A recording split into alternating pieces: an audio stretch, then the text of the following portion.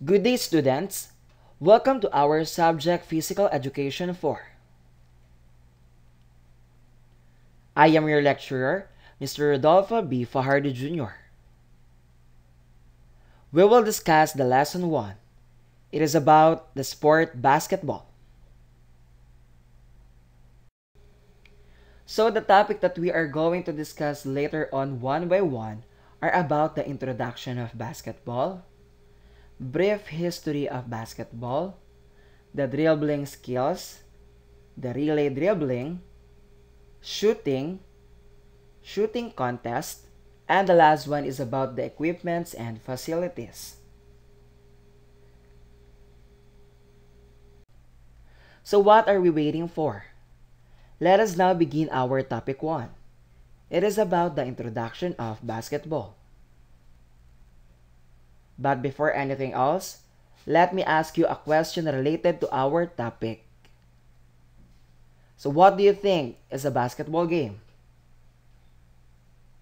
Okay, let me give you the definition of it.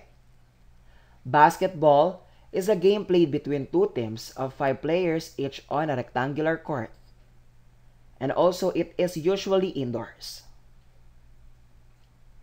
Each team tries to score by tossing the ball through the opponent's goal, an elevated horizontal hoop, and the net called a basket. And also, the ball is passed, thrown, bounced, batted, or rolled from one player to another. Another thing, physical contact with an opponent can result in a foul if the contact impedes the desired movement of the player.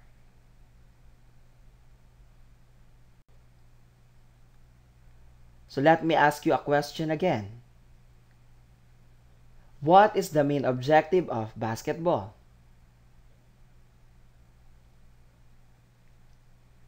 The main objective of basketball is to make a goal and score points. And also a goal is made by shooting the ball through the basket or hoop. The goal post or basket for a team is in the opponent's court. Always remember that. Let us now proceed to our topic 2. It is about the brief history of basketball. Basketball was invented in the year of 1891 by James Naismith a physical education instructor at the YMCA Training School in Springfield, Massachusetts, USA. The game achieved almost immediate acceptance and popularity, and the first collegiate game, with the five players on each team, was played in 1896 in Iowa City, Iowa, USA. Please don't forget to take down notes.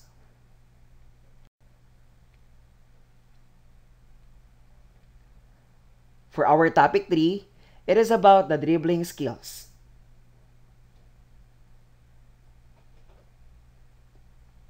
Dribbling is one of the first skills you learn when picking up the sports of basketball. And it is also one of the most basic skills to play the game. With that in mind, Singapore's slinger ng Habin bring us through the five fundamental steps of dribbling. So let me give you it one by one.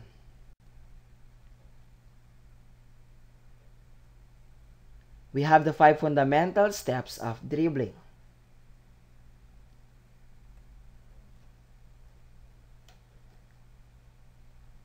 The first one is you need to use your fingers instead of your palm.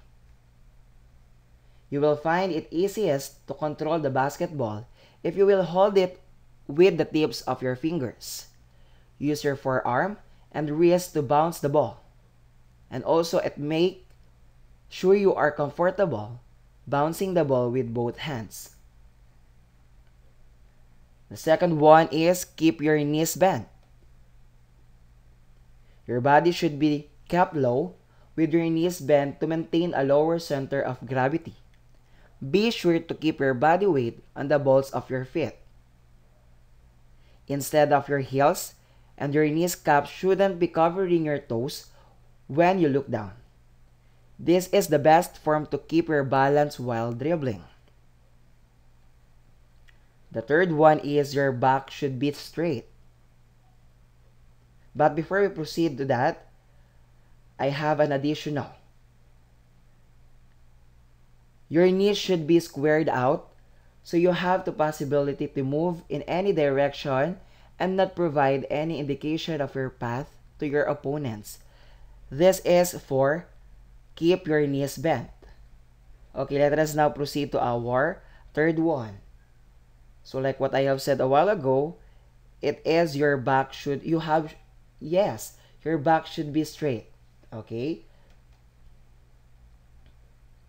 So instead of having your back hunched over, it should be kept in straight posture while dribbling. And this will also be helpful in keeping your center of gravity low. Always remember that. Next is keep your eyes up. Beginners tend to keep their eyes on the ball or on their hands as they dribble. But you should avoid doing that. Instead, try to keep your eyes up to look out of our oncoming opponents and to watch the happening on court.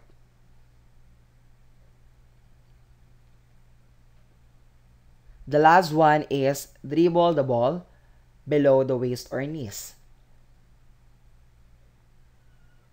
According to Hanbin, the ball should be kept below your knees as you dribble to keep it out of reach from your opponents and to maintain a low center of gravity.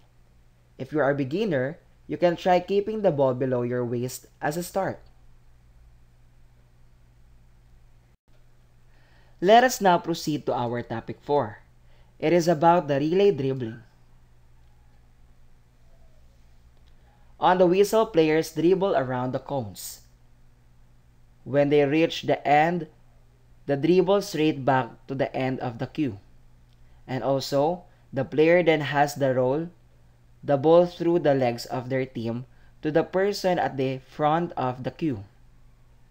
So this time, let me give you the dribbling relay drills, one by one.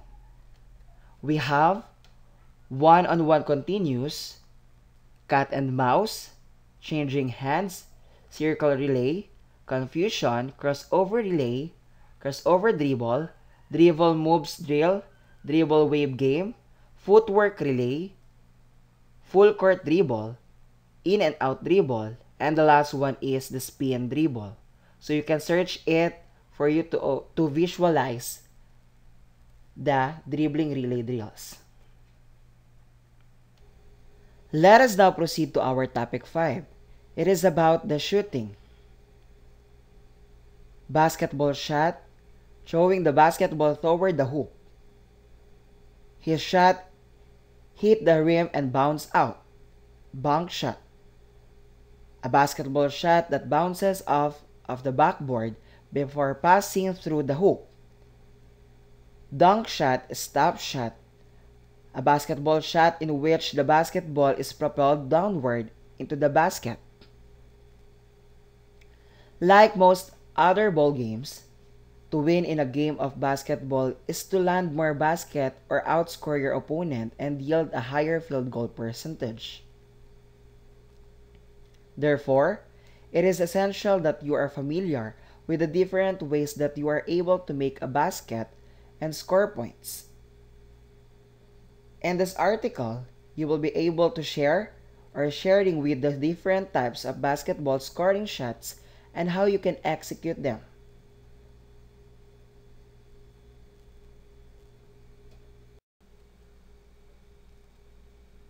So let me give you the fundamentals in shooting. To shoot accurately, Square your shoulder to the basket and place your feet shoulder length apart. With your knees bent slightly and back leaning towards the basket, put the fingers of your shooting hand under the ball and tuck your elbows close to your body. Flick your wrist towards the hoop to release the shot. And also your index finger should follow through facing the basket after releasing the ball. Here are some commonly used types of shooting in basketball. Let me give you one by one. Let us begin in jump shot. A jump shot is the most frequently used for a mid to long range shots, including shooting beyond the arc. To achieve balance when facing the basket for a jump shot, you have to take a wide stance. It is also usually shoulder width apart. Bend your knees and share your shoulders. Make a fluid explosive upward leap and at the apex of the jump. Follow through by shooting the ball.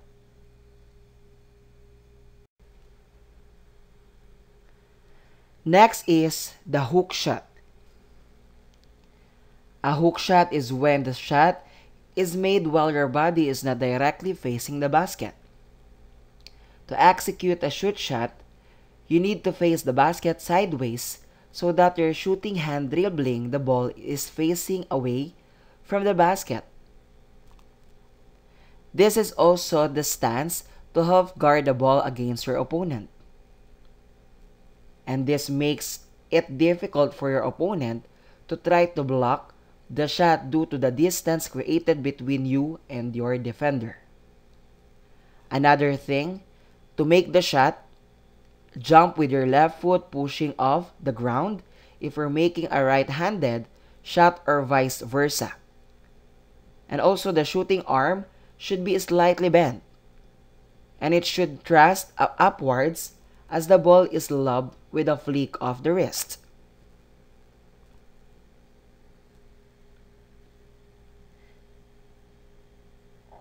Next is the bank shot.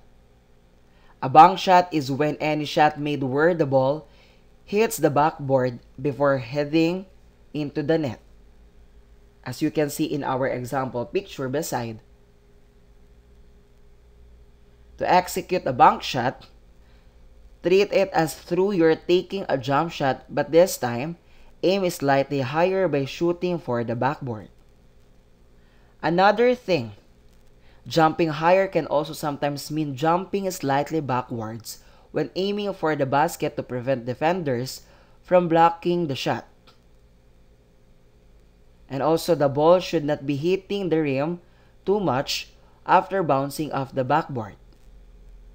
The ball should then bounce off the backboard and into the net. Okay, so let us now proceed to the next one. Next is free throw. A free throw is a shot attempts given to a player that was fouled and it is taken on the free throw line. The player must stay behind the free throw line when taking the shot. Before attempting the shoot, one must maintain their balance. Find the nail or dot in the middle of the free throw line and line your shooting foot against it. For right-handed, the shooting foot will be the right foot and vice versa. Another thing that you need to know is your elbow on your shooting hand must be lined up to make an L right under the ball with fingers spread out of the backspin. And aim for the back of the rim with your eyes focusing on the rims. Do not look at the ball while your execution is ongoing. Follow through your shot by keeping your hands up in the air for a second or two after releasing the ball.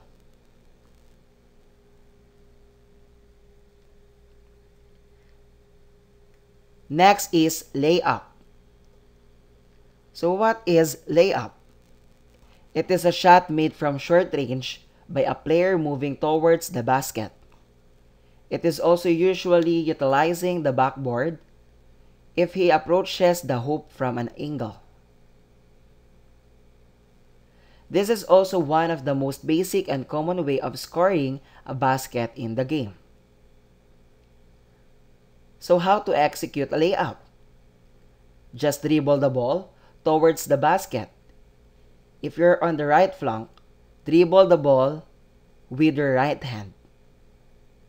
At the three-point line, or within 2 meters from the basket, take two giant strides toward the hoop and attempt to score by throwing the ball at the top corner on the backboard or lay the ball gently into the basket. So once again, it is the layup. Let us now proceed to our last example of fundamentals in shooting. It is the slam dunk. The dunk is usually the most spectacular shot, and it is one of the toughest feats in basketball. It is usually requires more jumping ability than shooting skills. To execute a slam dunk, dribble and charge towards the hoop when ready to execute the dunk. Jump explosively to get as high as possible and lift towards the hoop. And also lift the ball above the rim and push or slam it forcefully through the rim. Another thing, most people jump off one foot, but you might find that you can jump higher off both feet. So there you have it. Six ways of scoring in basketball.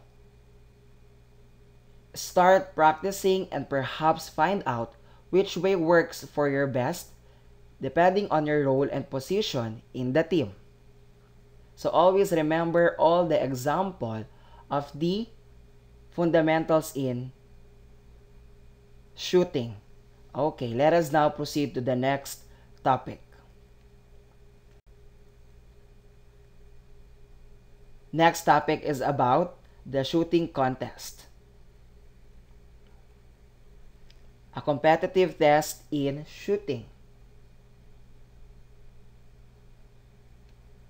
Competition and marksmanship. A collection or aggregate of person or things. It is also the entire affair or matter. We can say it a concern, business, used chiefly in the praise the whole shooting match.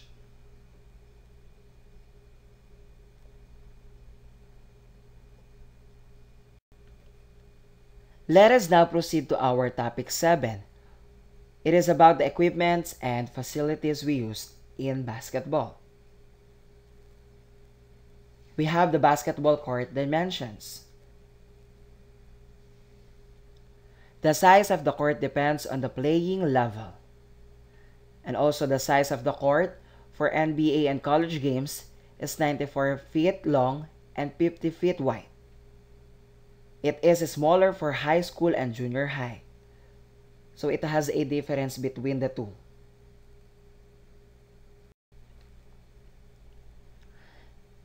Let us now proceed to our backboard and rim.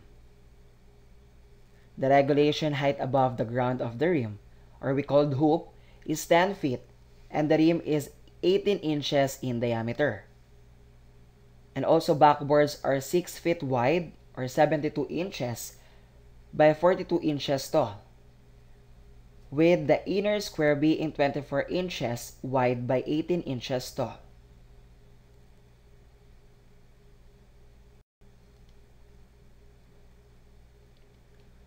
And next is the foul line. For all size courts, the foul line is 15 feet in front of the backboard. As simple as that. Next is the key. So here's the given example picture. The key is 12 feet wide and is the same for all basketball courts. The backboard extends 4 feet out over the baseline into the key and also a half circle of diameter 6 foot extend from the foul line away from the basket to complete the key.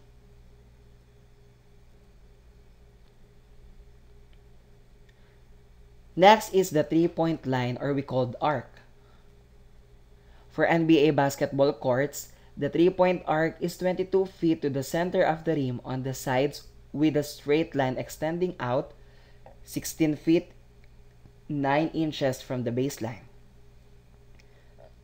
Past those points, the line extends out 23 feet 9 inches from the center of the rim. So here's the given example picture.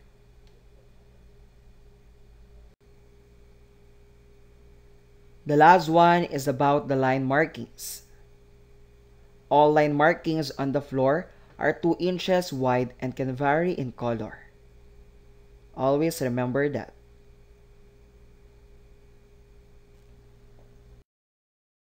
So we are done in our lesson 1 which is the basketball. So I hope you learned a lot and get ready for our quiz by the next meeting. Here are our references.